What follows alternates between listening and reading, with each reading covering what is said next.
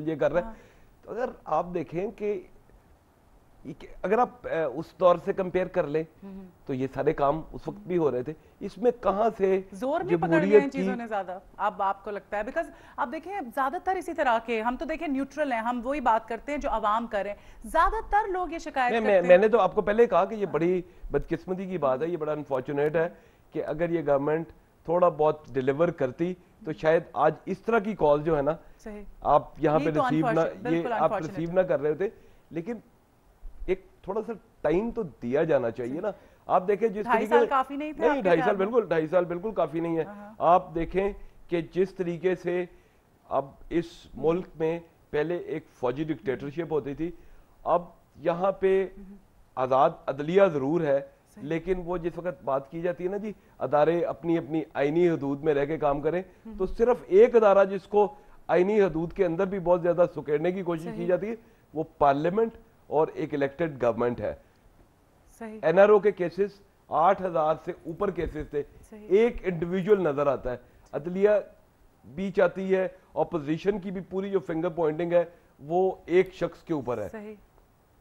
तो मतलब उसको उस तरीके से तो फ़ंक्शन नहीं करने दिया जा रहा ना। ठीक।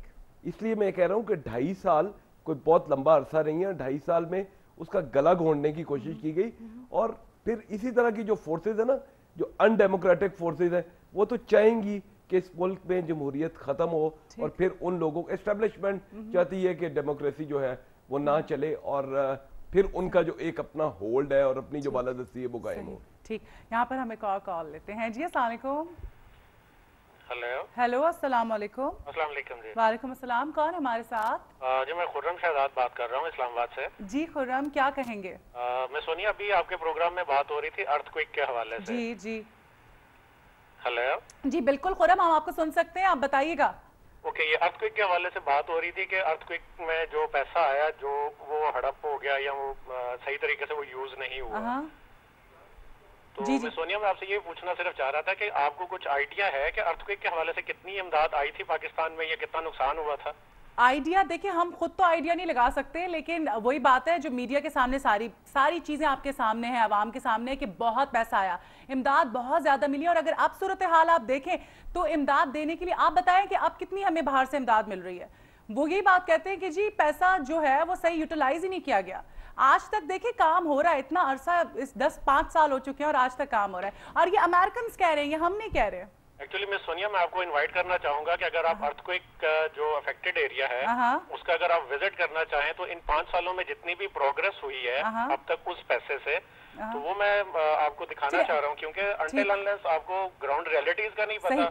आप एक बात खुरम साहब एक काम ये करते हैं कि हम इस पे प्रोग्राम करते हैं और बताते हैं नाजरीन को कि अब तक क्या काम हुआ है बल्कि फुटेजेस भी दिखाएँगे और एनजीओ के लोगों को भी मधु करेंगे और आपको भी डेफिनेटली हम कॉल करेंगे और फिर इस पर बात करेंगे। बिकॉज़ अभी जरा टॉपिक से हट रहे हैं। बहुत शुक्रिया कॉल करने के लिए। और जो भी बात है आवाम के सामने और देखिए जब इतनी मेजोरिटी एक बात कर रही होती है तो उसमें कहीं ना कहीं तो सदाकत होती है कुरम साहब। अच्छा जी वापस आते हैं टॉपिक की तरफ़ मुझे एक बात बताएँ, महँगाई की बात हो रही है। मैं अपना बिल देखती हूँ, दस घंटे मैं घर से बाहर होती हूँ, जॉब के सिलसिले में। और उसके बावजूद जब मैं घर जाती हूँ और हर महीने जब बिल आता है तो पंद्रह हज़ार, बीस हज़ार, कम अज़ कम आया तो बारह हज़ार। और फिर जो बेचारे गरीब हैं, उनके घर में तो राशन भी नहीं डालने के लिए मतलब अजाब हो गया है। इतना, इतनी महँगाई बढ़ गई है अरूज पे पहुँच गई है। तो जब देखें लोगों को यही चीज़ें, बेसिक चीज़ें नहीं मिलेंगी तो वो फिर रोएँगे भी, शोर भी मचाएँगे। आपको नहीं लगता? और फिर आप वो कहेंगी कि वो फिर उस दौर की तरफ़ देखेंगे जिस दौर में चलिए ठीक है ब्लेम गेम खत्म कर दें सर ब्लेम गेम खत्म कर दें मैं ये मैं ये कह रहा हूँ कि आप मैं ये नहीं कह रहा कि गवर्नमेंट ने डिलीवर हाँ। अगर करना चाहती कुछ बेहतर तरीके से गवर्नेंस के इश्यूज़ के ऊपर फोकस करती तो मसाइल जो हैं वो कम हो सकते थे और उसमें बिल्कुल उसकी एक इनकॉम्पिटेंस भी शामिल होगी हाँ। असल इश्यूज़ से हट के हम्म। बात की गई लेकिन उसके साथ जो पाकिस्तान की वैसे इकोनॉमिक सिचुएशन थी वो भी कोई बहुत अच्छी नहीं थी जिस वक्त ये टेक ओवर किया गया। और वो फिर खराब से खराब तर होती गई गवर्नमेंट की प्रायोरिटीज बिल्कुल डिफरेंट थी। उसके लिए ख़ास तौर पे वो जो पावर जनरेशन के लिए बार बार वो जो वाटर एंड पावर मिनिस्टर कहते थे जी दिसंबर 2008 में लोड शेडिंग ख़त्म होगी वो जो डेट देते थे उससे ज़्यादा वो एक्सटेंड होती जाती थी। कोई उनके पास प्लान नहीं था कोई प्रोग्राम नहीं था।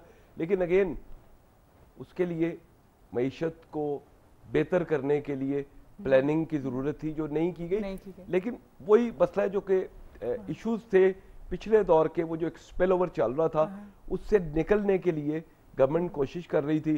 फिर उसके ऊपर बहुत सारे चेक्स फिर अदलिया का वो वाला मसला एनआरओ के केसेस वो प्रॉपरली वो नज़ीर नाजी साहब ने अपने कॉलम में एक चीज़ बड़ी अच्छी पॉइंट आउट की कि आप एक तरफ़ से उनकी जान छोड़ेंगे तो वो फोकस कर सकेंगे ना इन इश्यूज़ के ऊपर। सही बिल्कुल।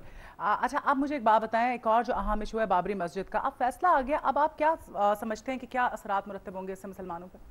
फैसले का रिएक्शन तो आ, आना शुरू हो गया और मेरा ख्याल है कि वो जो एक ख़ास माइंडसेट मेंटेलिटी है वो सामने आ गई कि आपने वो कैसा इंसाफ किया कि एक जगह जहाँ पे मस्जिद थी 18 साल के बाद एक फैसला आया। उसमें इस तरीके से कि दो हिस्से जो हैं वो उन्हें दे दिए गए। एक मंदिर के लिए दे दिया गया और एक शायद किसी और प्रोजेक्ट के लिए दे दिया गया। और बाकी जो है एक वो मस्जिद के लिए दे दिया गया। ये तो एक कम्युनल राइट्स की तरफ़ फिर जो है ना वो सिचुएशन बढ़ेगी। और उसमें बाद में अगर ब्लेम मुसलमानों की किया जाएगा तो मेरा ख्याल है बहुत ज़्यादा फेयर नहीं होएगा। उन्होंने वैसे ये कहा है हम्म। वहाँ पे जो उनकी मुसलमान भारत के हैं। कि हम इसको चैलेंज करेंगे सुप्रीम कोर्ट में। लेकिन मुझे सुप्रीम कोर्ट से भी कोई मेरा नहीं ख्याल है कि कोई बहुत ज़्यादा इससे फैसले से हट के फैसला आने की कोई उम्मीद नज़र ठीक यहाँ पर हम एक और कॉल लेते हैं। जी अस्सलाम हेलो वालेकुम अस्सलाम। कौन है हमारे साथ? मैं मोहसिन बात कर रहा हूँ कराची से। मोहसिन क्या हाल है? अल्लाह का शुक्र है। ठीक ठाक। जी क्या कहेंगे? बस ठीक ठाक है मुझे ये क्वेश्चन करना था जो आपके गेस्ट आए हुए इनसे। जी। ये जवाब लेकिन ज़रूर दे तीन क्वेश्चन है मेरे छोटे छोटे। नंबर वन के वो पाकिस्तान की 63 इयर्स की हिस्ट्री में जी। वो कौन सा दौर था जिसमें पाकिस्तान की stock exchange Karachi stock exchange जो है वो वर्ल्ड वाइड सबसे ज़्यादा प्रॉफिटेबल स्टॉक एक्सचेंज डिक्लेयर की गई? सही ठीक। उसने हाईएस्ट पॉइंट टच किए। सेकंड वो कौन सा दौर था जिसमें पाकिस्तान का ग्रोथ रेट जो है वो हाईएस्ट लेवल पे गया रेट पे गया। वो दौर था कौन गवर्नमेंट का चला अच्छा, था? अमल कांसी को जो नुमाइंदा के हवाले किया गया I am really sorry I am really sorry मैं माजरत चाहती हूँ माफ़ कीजिएगा। यहाँ पर जो है वो एक ब्रेकिंग न्यूज़ आ गई जस्टिन आ गया तो हम ये सेगमेंट यहाँ पे हमें वाइंड अप करना पड़ेगा। वैसे तीन चार मिनट रह गए थे इंशाल्लाह इस पर कभी और बात करेंगे। आपका बहुत शुक्रिया आपने हमारे लिए वक्त निकाला। यहाँ पर जो है हमें ब्रेक लेनी है ब्रेक के बाद दोबारा आपकी तरफ़ आते